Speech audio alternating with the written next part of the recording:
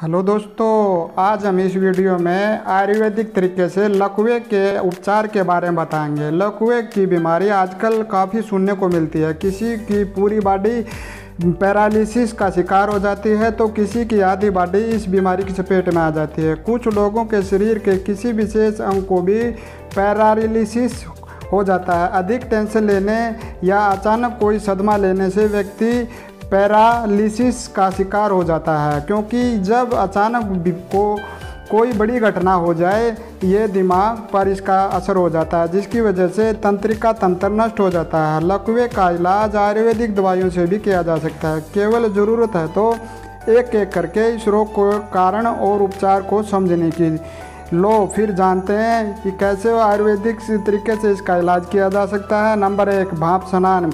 एक अन्य उपाय के अनुसार लकवा रोग से पीड़ित व्यक्ति को प्रतिदिन भाप स्नान कराना चाहिए। स्नान के बाद उसे गर्म गीली चादर से वो अपने शरीर के रोगग्रस्त भाग को, यानी कि जिस भाग को लकवा हुआ है, केवल उसी भाग को ढकना चाहिए। यह करने के बाद अंत में कुछ देर बाद उसे धूप में बैठना चाहिए। उसके रोगग्रस्त भाग पर धूप पड़ना बेहद ज़रूरी है। नंबर दो नींबू पानी का अनिमा लकवा रोग को दूर करने का एक और इलाज मौजूद है, जो पूर्ण रूप से प्राकृतिक है। इसके अनुसार पीड़ित रोगी के प्रतिदिन नींबू पानी का अनिमा लेकर पेट को साफ़ करना चाहिए और रोगी व्यक्ति को ऐसा इलाज करना चाहिए जिसके, उसके शरीर से अधिक से अधिक पसीना निकले, क्योंकि पसीना इस भाग को काटने में सहायक होता है।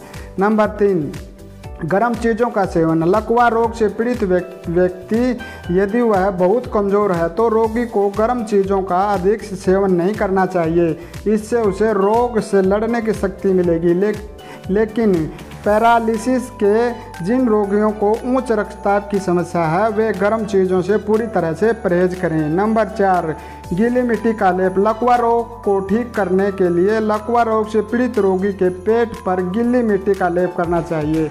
यदि रोज़ाना ना हो सके तो एक दिन छोड़कर यह उपाय ज़रूर करना चाहिए। उसके बाद रोगी को कटी स्नान कराना चाहिए। यदि यह इलाज प्रतिदिन किया जाए तो कुछ दिनों में लकवा रोग ठीक हो जाता है। लकवा रोग से पीड़ित रोगी को सूर्य तप्त पीले रंग की बोतल का ठंडा पानी दिन में कम से कम आधा कप चार पाँच बार पीना चाहिए। यह लकवे से प्रभावित अंग पर कुछ ही देर के लिए लाल रंग का प्रकाश डालना चाहिए और उस पर गर्म या ठंडी सिकाई करनी चाहिए। इस प्रकार से पीड़ित प्रकार से प्रतिदिन उपचार करने से रोगी का लकवा रोग कुछ ही दिनों में ठीक हो जा सकता है।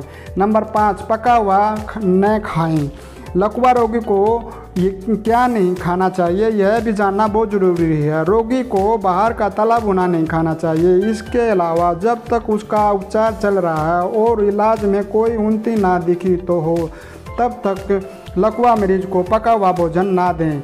नंबर छः, नाल स्ट्रेस लकवे रोग के कारण मस्तिष्क का चाहे कोई भी भाग नष्ट हुआ है तो रोग के बढ़ने की संभावना बनी रहती है। इसलिए उपचार के दौरान रोगी के दिमाग को किसी प्रकार की कोई चोट ना पहुँचे।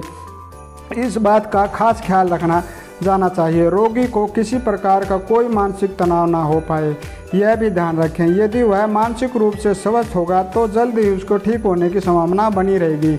नहीं तो उपरोक्त बताए सभी उपाय एक के बाद एक असफल होते चले जाएँगे। इस वीडियो में बस इतना ही। आप मेरे चैनल को लाइक और सब्सक्राइब कर दीजिए, ताकि आगे आने वाली वीडियो आप तक पहुँच सके। धन्यवाद।